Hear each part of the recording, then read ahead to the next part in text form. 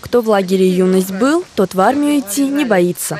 У оздоровительного центра военно-спортивный профиль. Здесь все создано для того, чтобы укрепить и тело, и дух. Есть место, специально приспособленное для целевой и учебной стрельбы, а также горно-спасательная подготовка.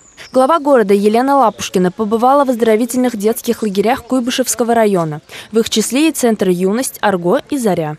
Впечатление самое замечательное. Вы сами видели, насколько детям здесь нравится, да, насколько здесь им не просто комфортно, но и очень интересно. И первый лагерь, который мы с вами посетили, замечательный, с военно-патриотической направленностью. Мне кажется, мальчикам там очень интересно и будет полезно. У детей в этих лагерях нет ни одной свободной минуты. Например, в лагере Арго можно научиться ставить палатки, танцевать вальс и вышивать бисером.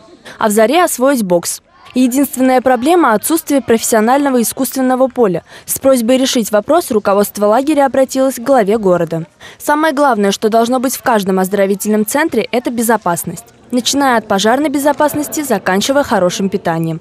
Также большую роль во всех лагерях играет правильная организация работы по профилю. Здесь важно, чтобы за достаточно небольшой период дети и оздоровились, и отдохнули, и как можно больше попробовали видов досуга, и усовершенствовались в том направлении, которое они для себя выбрали. Сейчас в лагере Аргой Заря отдыхает 230 детей, а в оздоровительный центр «Юность» уже завтра заедет 170 человек. Мария Илчан, Станислав Левин. События.